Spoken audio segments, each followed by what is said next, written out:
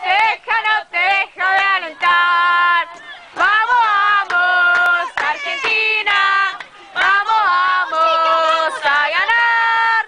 Que ahora Quilomera no te deja, no te deja de alentar.